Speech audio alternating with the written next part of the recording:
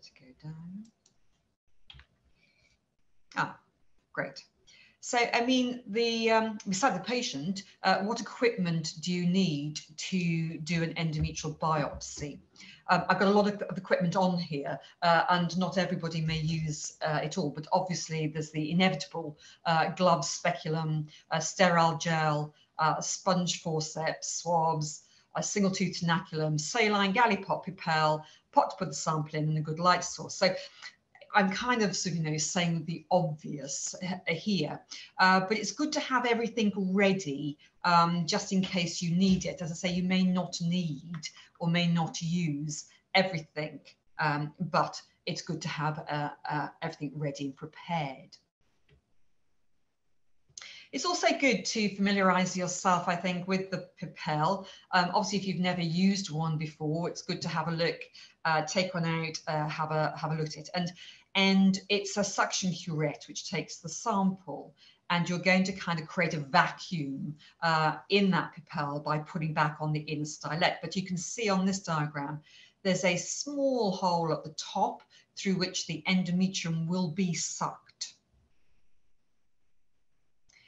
And the Pipelle itself is graded, um, and it's graded in centimeters so that you know the depth of markings so you know how deep in the cavity uh, you are. And the markings are also uh, good because you're going to pull back on that inner stylet uh, to about sort of the seven or eight mark that's recommended to gain a good uh, endometrial sample. Again, you know, uh, uh, most uh, reproductive medicine specialists, of course, have done lots of embryo transfers. Uh, so the, the doing an endometrial Pipelle is a pretty straightforward, easy procedure to do. And you, you can either do this in a, an outpatient office type environment, or of course, if you're in an IVF clinic, you can do this um, in the theatre environment as well. Um, whatever, you need to, of course, place the, uh, place the patient in the lithotomy position um, insert the speculum, and you need to get a really good view of the cervix to do that before you start the procedure. So really get yourself a good view, good light source um, to do this. Again, you can do this by yourself. You can have an assistant with you. Um, I, I, usually very gently clean over the cervix with some saline using the sponge forceps and the gauze. This is not a this is not a, a really good clean. This is just a wipe over the cervix very gently. Um, I always, in fact, place the tenaculum on the cervix. Again, this is optional and uh, it depends what you're comfortable with doing.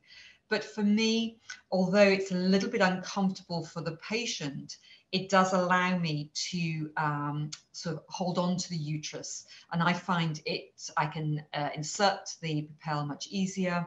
I know exactly where I am in the cavity, um, and uh, it allows me to do the whole procedure uh, more efficiently. But again, some people prefer not, uh, and you can, of course, perform that biopsy uh, without the need to place the tenaculum on, but I do find it, it aids the process. Um, I then, uh, once I've done that, I'll insert the Pipelle to usually to the depth of the cavity or at least six centimeters on the Pipelle. Again, those people who are reproductive medicine specialists find this should find this really easy. We're used to putting catheters in the uterine cavity. We're used to measuring the depth of that uterine cavity. So I put it in, I pull back on the uh, inner stylet uh, to create that suction. And then what I do is I pull the whole Pipelle backwards towards the cervix. I rotate it 90 degrees. I push it back in.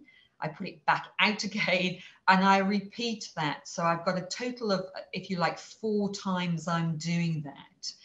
And it's a very, very quick process. It's speedy, in, out, in, out, in, out, in, out. Um, and I have say that I always get a good sample uh, doing it that way.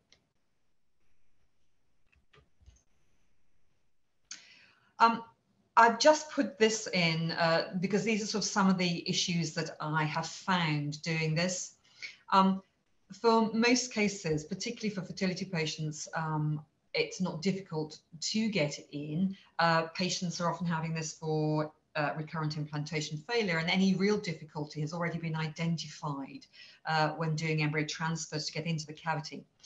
Um, but there is no memory associated with the Pipelle, um, which means that if you try and bend the end to curve round, um, it will curve a little, uh, but not a great deal.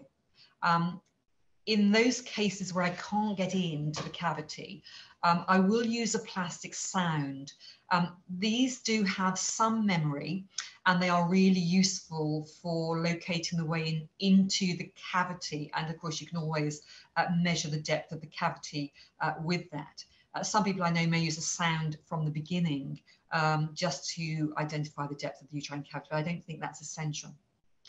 Um, the most important thing is not to force the Pipelle in. You've got to use a degree of pushing, if you like, uh, but slightly not to force uh, the Pipelle in. Um, and you can do the biopsy in most cases. I put more than 95% here, but I think for, for mostly for fertility patients, I, I think I've, I've, only not been able to get into the cavity uh, on one occasion. And, I, and I've done hundreds and hundreds of these the this it's a, it's a very low risk procedure uh, for sure. Um, the risk, I suppose, greatest risk is just not getting in. Um, but you don't need prophylactic antibiotics. They're not recommended. They're not recommended by the Royal College of Obstetricians and Gynecologists for doing endometrial biopsy. There is an extremely low risk of perforation. This is not a forced procedure. This is a fairly gentle procedure, even though the patient might not feel it's gentle. Um, and you rarely will get any bleeding. The only time I ever get bleeding, of course, is the tenaculum can sometimes cause bleeding at the site I've placed it on the, on the anterior lip of the cervix. But the procedure is uncomfortable, um, particularly nulliparous women. Uh, I find that in those women who've had a baby, actually they tolerate the procedure unbelievably well and, and associated with very little discomfort. Uh, but those women who are nulliparous uh, do get period-like cramps during the procedure and after. It's most painful during the um, procedure, uh, but it settles extremely quickly. Um, and I've never not been able to do a biopsy because it's too uncomfortable. And I think speed is of the essence when doing this type of procedure uh, and the quicker you can get that biopsy done, uh, the less uncomfortable uh, it is overall for, for the patient.